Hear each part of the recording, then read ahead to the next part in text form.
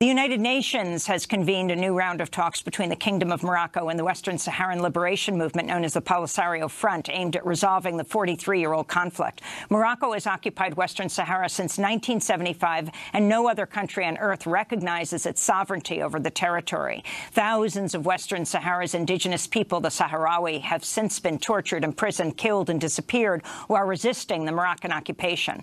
On Wednesday, Moroccan authorities assaulted a peaceful assembly of women in the streets of the the western Saharan capital, Ayoun, as they demonstrate in favor of a referendum on the status of the territory. Two years ago, Democracy Now! was able to break the Moroccan media blockade and report from Western Sahara. You can go to our website at Democracy Now! to watch our special report, Four Days in Western Sahara, Africa's Last Colony.